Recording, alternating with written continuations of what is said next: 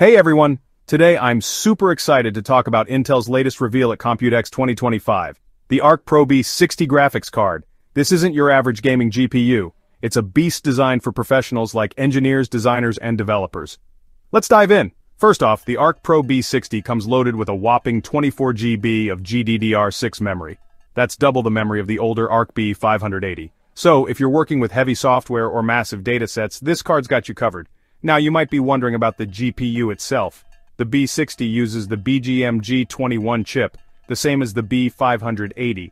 While the memory capacity has been cranked up, the GPU power and the 192-bit memory interface remain the same.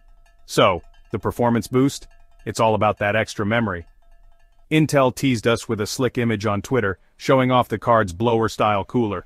This type of cooling system is efficient, pushing hot air out the back of your PC case.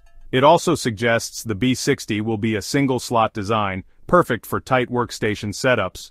For those familiar with Intel's previous top card, the Arc Pro A60, this new B60 follows a similar trend. Both cards don't use the largest available GPU, instead, Intel focuses on maximizing memory and efficiency.